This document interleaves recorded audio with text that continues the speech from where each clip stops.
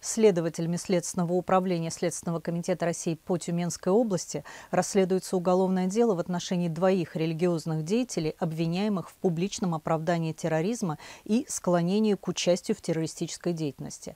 По версии следствия, с февраля 2015 по ноябрь 2022 года указанные лица склонили 19 жителей Тюменской области к участию в террористической деятельности в составе вооруженных формирований на территории Сирийской Арабской Республики. Кроме того, злоумышленники склоняли граждан России к сбору денежных средств для финансирования членов международной террористической организации «Исламское государство», деятельность которой запрещена на территории Российской Федерации. Также один из фигурантов разместил в сети интернет проповедь, в которой, согласно заключению психолога лингвистической судебной экспертизы, имеются признаки оправдания и пропаганды террористической деятельности.